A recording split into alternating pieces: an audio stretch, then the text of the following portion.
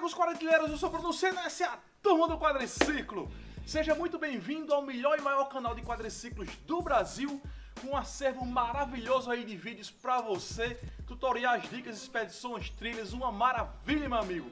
Se você não é inscrito, inscreva-se aqui agora e tenha acesso a essa maravilha de acervo, não é isso? Eu vou estar falando de um vídeo hoje aqui solicitado pelo nosso amigo Jorge Luiz, um seguidor da Turma do Quadriciclo, que fez um comentário em um dos vídeos aqui do canal, solicitando que falasse sobre a troca do líquido de arrefecimento do quadriciclo, né? Especificamente do Rondinha. Eu tô aqui com um Rondinha, um Honda 2013. Eu vou estar falando agora um pouco sobre líquido de arrefecimento, sistema de arrefecimento, na verdade, e como você deve proceder aí para manter seu quadriciclo uma belezura, pronto pro cacete não é isso?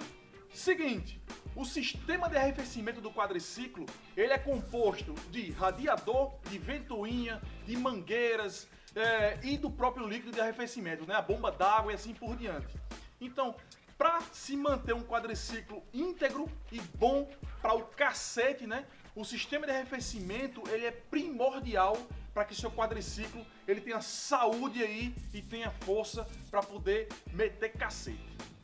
O líquido de arrefecimento adequado para o Rondinha, ele é o próprio original Honda e com 50-50. O que significa isso? 50-50, ele diz que é 50% de água destilada e 50% de é, aditivos, na verdade, né? Então, esse composto, ele faz com que o quadriciclo ele trabalhe em altas temperaturas sem evaporar água. Então ele passa aí dos 100 graus, por exemplo, a média de, de, de, de temperatura do motor é entre 90 a 95 graus, na verdade. Quando ele passa de 100, o ponto de ebulição da água é de 100 graus, né? 100 graus Celsius. Então, se ele está só com água no radiador, ele vai evaporar e você, logicamente, vai perder aí boa quantidade de água no motor. Isso também porque não é recomendado utilizar apenas água no radiador. Por quê?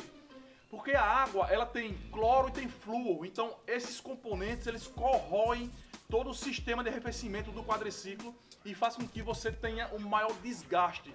Por esse motivo é que tem os aditivos aqui, né, no líquido de arrefecimento e também a água ela é destilada. Utilize sempre o recomendado que é o líquido de arrefecimento original. É importante que, no meio de uma trilha, por exemplo, se você tiver aí numa trilha e acabou a, o líquido, você viu que está esquentando o seu quadriciclo, não tem líquido de arrefecimento, você até pode utilizar água. Pegue uma água limpa, não utilize águas de rios e assim por diante. Nunca façam isso, nunca. Utilizem água limpa só para sair da trilha e depois disso você tem que tirar toda essa água do sistema de arrefecimento e colocar uma, um líquido apropriado, original Honda, não é isso? No sistema de arrefecimento Honda, na verdade, aqui no Honda 2013, ele 2013 para trás, ele fica localizado na parte traseira do quadriciclo direita. A partir de 2014 para frente, né, na verdade, ele é, ele é, identificado esse reservatório na parte dianteira esquerda aqui do quadriciclo. E você pode substituir essa água, na verdade completar ou substituir, é muito simples. Para substituir, você só precisa desacoplar a mangueira, na verdade, e a mangueira do, do radiador aqui na frente do quadriciclo, ou até aqui atrás mesmo no, no, no reservatório, você desacopla e a água vai toda cair. É importante que você separe essa água, na verdade, não deixe cair no solo, separe essa água para descartar em um local apropriado, porque essa água contém aditivos e é prejudicial ao meio ambiente, né? Então você não deve descartar isso aí no solo, correto?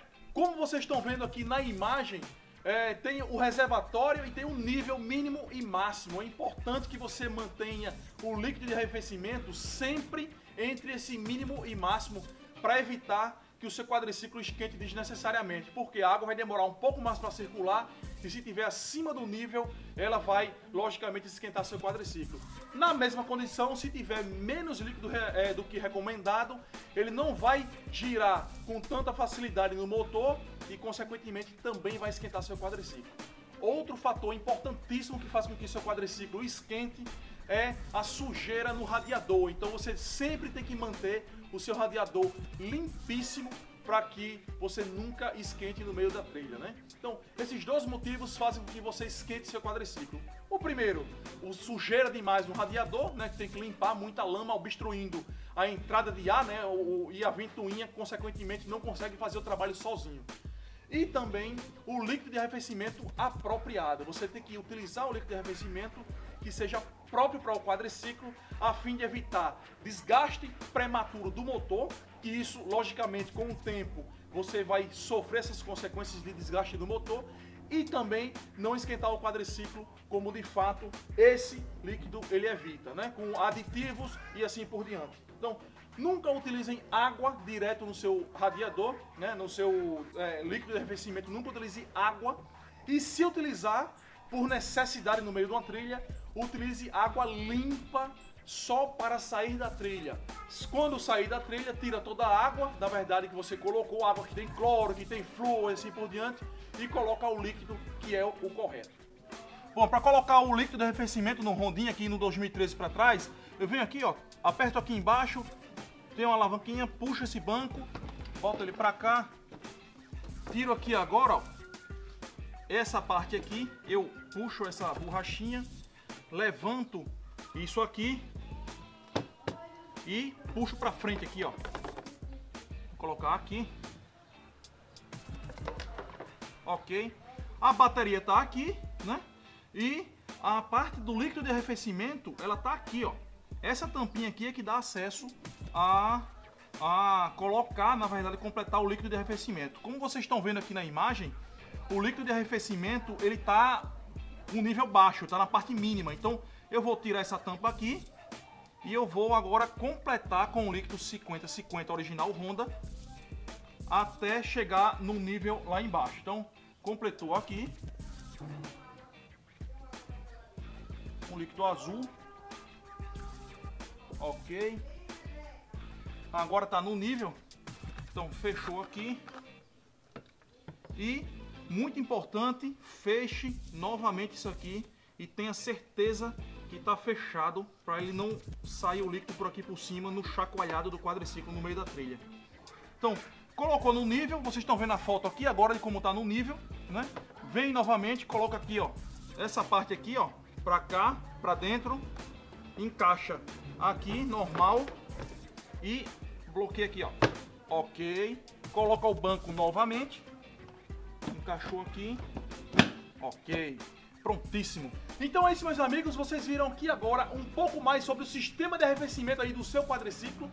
Os cuidados que você tem que ter para mantê-lo com uma integridade muito boa e assim ter uma vida útil muito maior do seu quadriciclo, né? Então, se você gostou desse vídeo, dê um like aqui embaixo. Não se esqueça de curtir nossa página no Facebook. Nos seguir no Instagram e, como é de velho costume, se for andar de quadriciclo, utilize sempre equipamento de segurança. É importantíssimo que você vá e volte para casa na mesma condição que foi, ok? Um grande abraço, até a próxima. Fui!